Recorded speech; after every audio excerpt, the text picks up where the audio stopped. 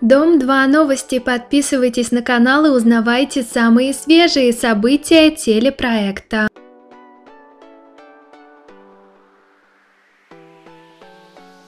Саша Черно позволила себе нелестный выпад в адрес Марины Африкантовой, о чем сразу же пожалела. За любимую супругу вступился Роман Капаклы, одной фразой поставив Черно на место. Случайно выяснилось, Саша считает скучной одну из старейших участниц Дома-2. В ответ на замечание Сергея Захарьяша о том, что мечтает о такой девушке, как Марина, Черно отметила, с ней можно умереть со скуки.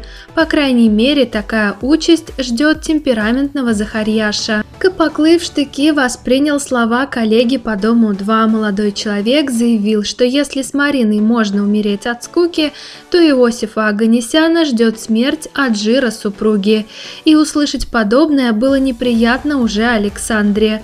К слову, извиняться Роман не стал, заверив, что ни одной собаке не позволит открывать рот в адрес своей любимой женщины.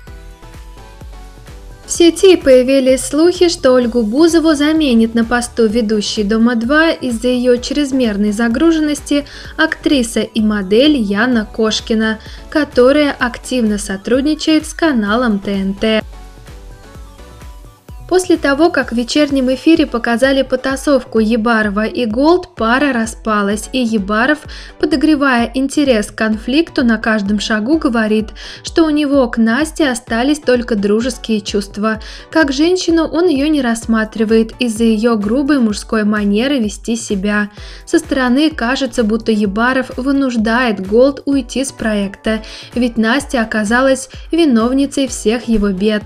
Если послушать Илью, получается, что он бедный и несчастный, его выставили тираном ведущие, а на самом деле шансонье и сам не знает, как контролировать взрывной характер Голд и страдает рядом с ней.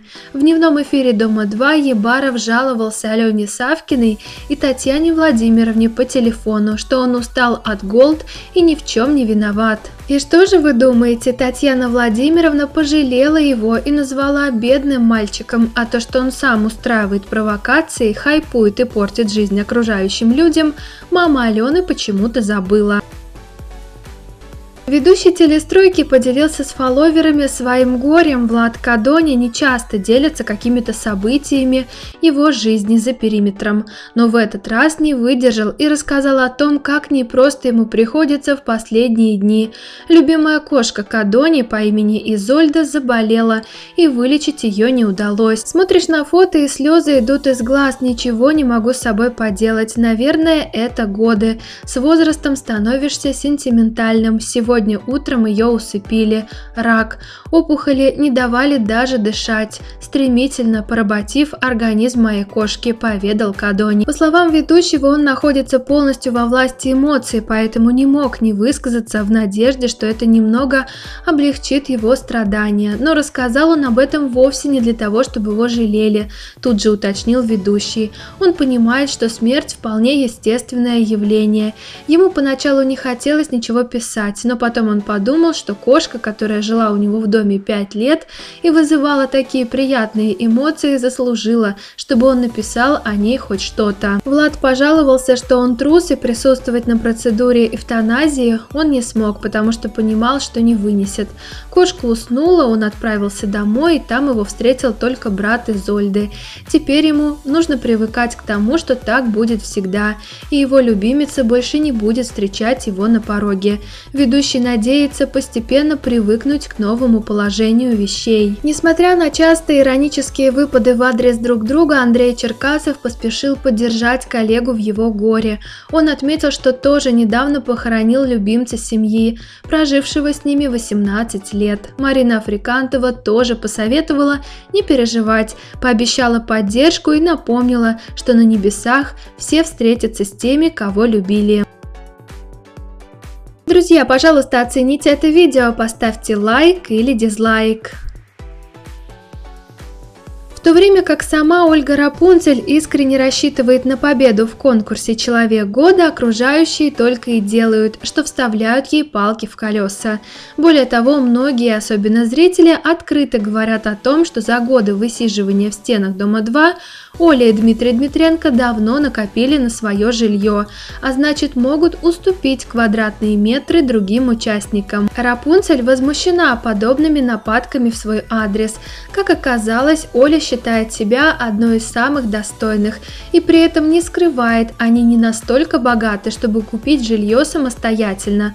По мнению Ольги, ни один проектный мужчина на это просто не способен. Главным аргументом Рапунцель по-прежнему являются дети, якобы именно для Василисы и ее братика или сестренки они с супругом ввязались в ожесточенную борьбу за столичную жилплощадь.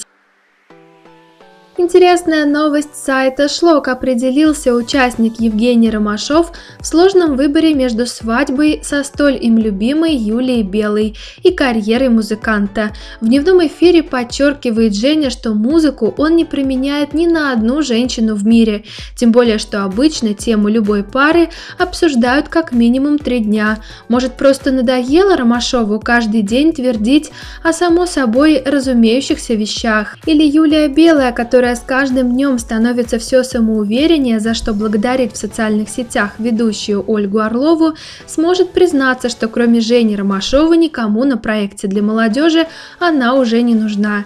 Ведь и до того, как с нею связался, вниманием девушек он никогда не был обделен. И к свободному Ромашову явно будут приходы, чего не скажешь о Юле Белой. Появятся фанатки музыканта Ромашова в периметре или будут продолжать строить любовь с Белой не в ущерб своей музыкальной карьере скоро узнаем.